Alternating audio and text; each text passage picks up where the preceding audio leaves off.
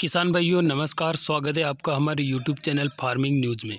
किसान भाइयों, इस वीडियो में हम बात करेंगे कि 15 मई के बाद लहसुन का भाव क्या रहेगा, क्या मध्य प्रदेश में मंडियाँ बंद रहेगी, अगर बंद रहेगी तो कब तक मंडियाँ बंद रहेगी और मंडियाँ कब तक चालू हो सकती है? किसानों की जो उपज किसानों ने पैदा की है अपने खेतों से, उस उपज का क्या होगा, उसकी बिक्री होगी, नहीं होगी? ये सभी सवाल अभी हमारे किसान भाइयों के मन में अधिकतर चल रहे हैं।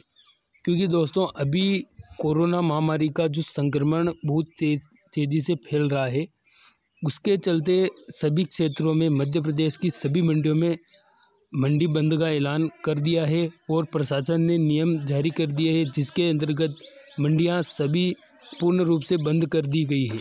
और दोस्तों राजस्थान में अभी तक मंडियाँ चल रही है, जैसे कि कोटा मंडी, प्रतापगढ़ मंडी और कहीं कहीं पर मंडियाँ चल रही है। परंतु दोस्तों, इस संक्रमण के चलते ऐसा लग रहा है कि राजस्थान में भी बहुत जल्द मंडियाँ बंद हो जाएगी। परंतु दोस्तों, अब बात की जाए लहसुन, प्याज, चना और सभी जिनसों के भाव कब बढ़ेंगे, मंडियाँ कब खुलेगी तो यह सवाल हमारे किसान भाइयों के मन में चल रहा है, क्योंकि किसान भाइयों के पैसों की ज़रूरत होती है और किसान भाइयों की जब पैसों की ज़रूरत होती है तो वो अपनी जो उपज खेत से पैदा करते हैं, उसको बेच कर ही पैसों की व्यवस्था कर पाते हैं। उनके पास कोई अलग से बिज़नेस तो होता नहीं है। तो अब सबसे बड़ा सवाल ये खड़ा होता है कि कब मंडियाँ खुलेगी और किसान भाइयों को कब उनकी ज़रूरत के हिसाब से उनकी फ़सलों के भाव मिलेंगे। तो दोस्तों, मध्य प्रदेश में सात से दस मई तक लॉकडाउन मतलब मंडी बंद का ऐलान किया गया था।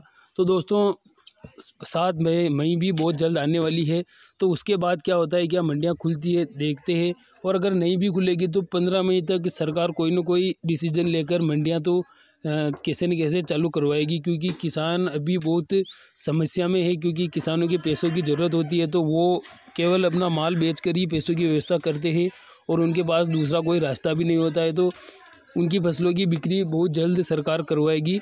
और दोस्तों, उम्मीद करते हैं कि आप सभी स्वस्थ होंगे। और दोस्तों, कोरोना का संक्रमण बहुत ज़्यादा फैल चुका है तो आप ध्यान रखें, मुँह पर मास्क लगाए रखें।